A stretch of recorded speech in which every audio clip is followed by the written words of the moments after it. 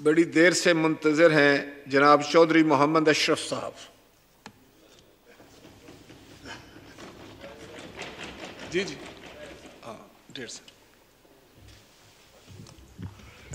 बिस्मिल्लाहिर्रहमानिर्रहीम।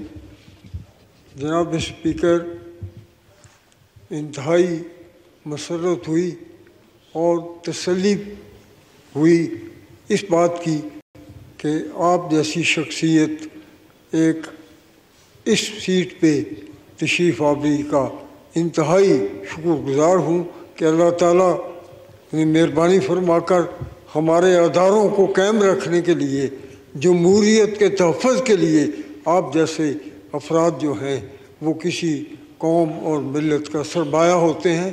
जैसे ये एक शेर में फरमाया गया है कि नगाह बुलंद सुखन दिल नवास जहाँ पुरसोज यही है रिखत सफ़र मीरे कारवां की तो जनाब स्पीकर, इस खुशी के साथ आज बहुत तसल्ली हो रही थी जब ये ख़बर आ गई कि सूबाई असम्बली पंजाब में जो सबसे बड़ा सूबा है पाकिस्तान का, उसमें डिप्टी स्पीकर जो बतौर स्पीकर काम कर रहे थे उन पे हमला कर दिया गया।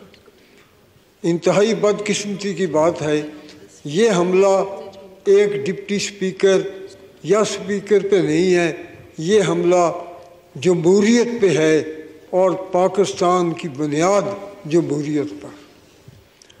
ये पाकिस्तान की बुनियाद के ऊपर हमला है और ये एक सबक वज़ी अज़म जिसका नाम लेते भी शर्म आती है हमें लेकिन हम चूँकि जमहूरीत के कायल हैं, इसलिए झूठ या सच से, जिस इलेक्शन से इमरान खां वज़ी अजम बना, उसमें कोई कोई इंसानियत वाली बात नहीं। वो जो बातें करता था, वो कहता था, ओ मदारी, ओ फजू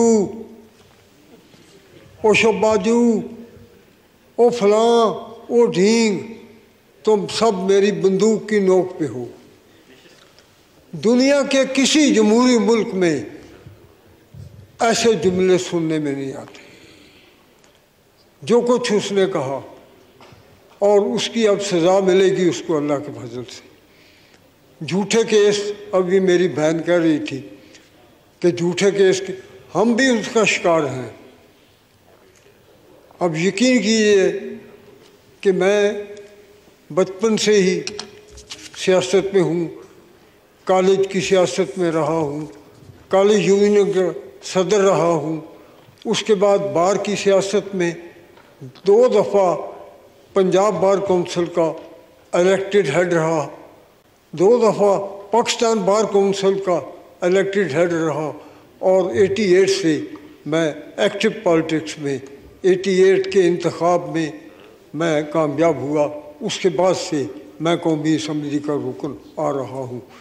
लेकिन कभी ये देखने में नहीं आया था कि ऐसी गलीज गुफ्तु जो हमारे जाने वाले सो कार्ड वज़ी अजम की ज़ुबान से निकलती थी। और उसकी सज़ा अल्लाह ताला ने उसको दी है। अल्लाह ताला गफूर रहीम है। अल्लाह ताला बर्दाश्त करने की, करने वाले और हकूक़ाबाद के तहफ़ करने वाले अफराद का साथ देता है। ये अल्लाह की मेहरबानी है कि आप इस कुर्सी पे आ गए। इससे पहले आपका तजर्बा भी है। आप सियासत भी समझते हैं।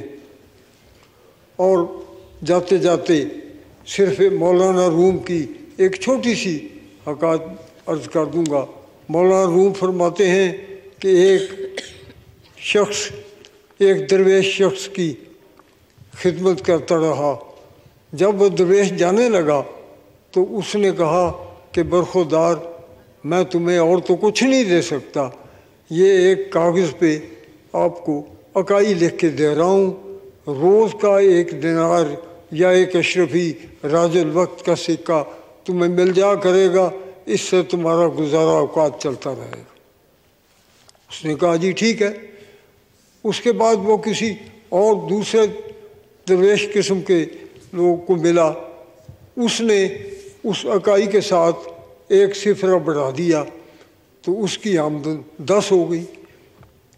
वो आगे फिर तलाश में था, और कोई दरवेश मिल गया। उसके पास गए। उसने भी एक सिफरा और बढ़ा दिया। उसकी रोज़ की इनकम सौ हो गई।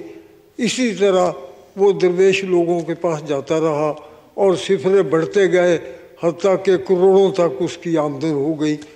तो वो शख्स जिसने अकाई दी थी, दरवेश शख्स ने, वो एक दिन मिल पड़ा उसे।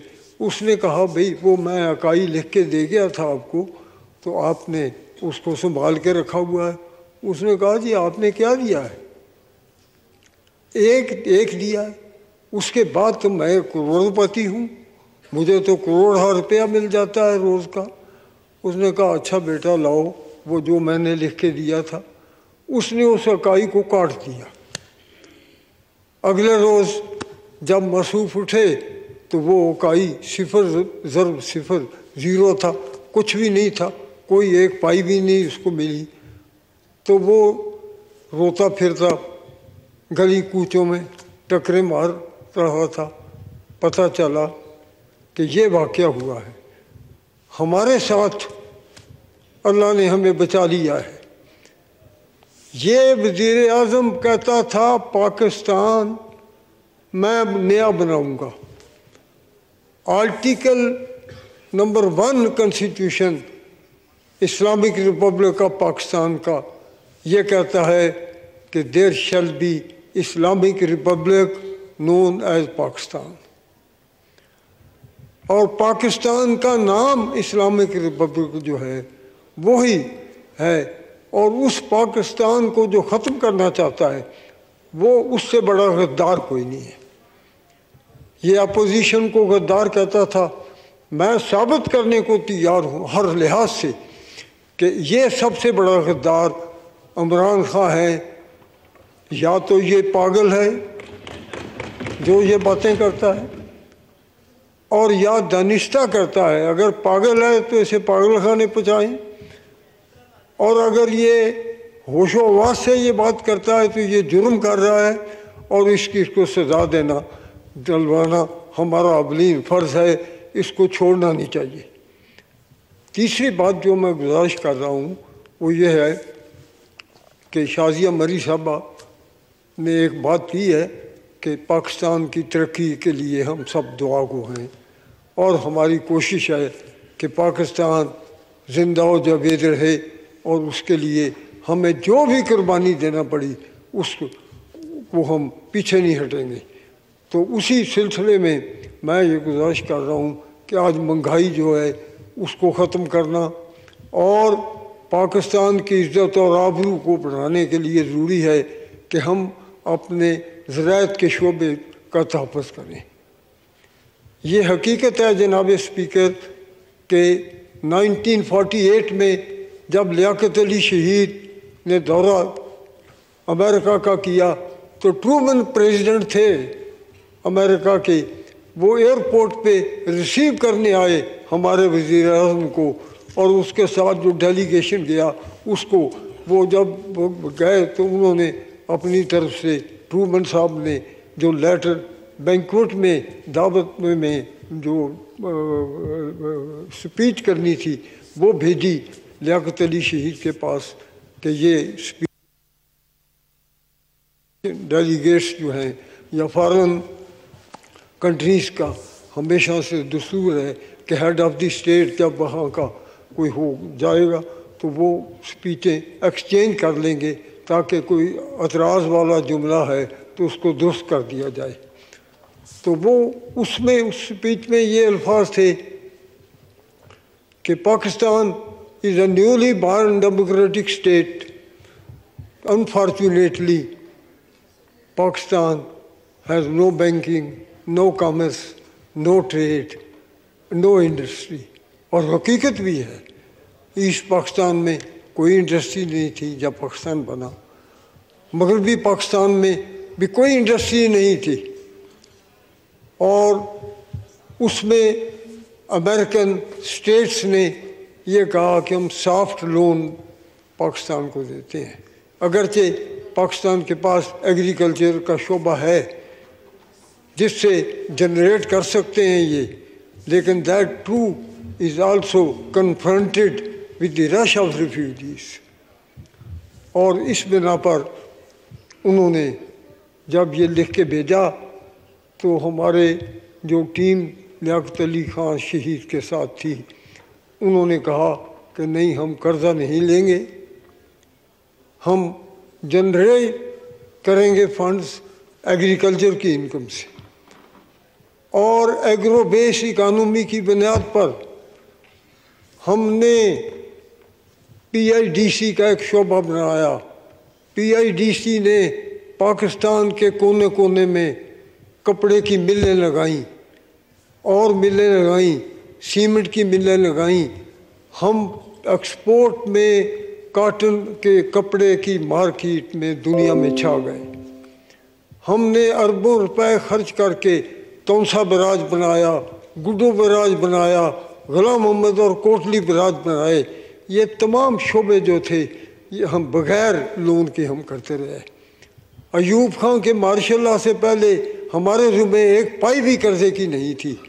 तो जनाब स्पीकर, मैं बड़े अदब से ये गुजारिश करूँगा कि इसमें आप हेल्प करें, एग्रीकल्चर के शोबों को कायम दायम करें और बग़ैर किसी कर्ज़े की तो के हम अपने मुल्क को मज़बूत से मज़बूत कर सकते हैं और महँगाई की लानत से छुटकारा हो सकता है। बड़ी मेहरबानी, बहुत शुक्रिया। थैंक यू अब मैं अपने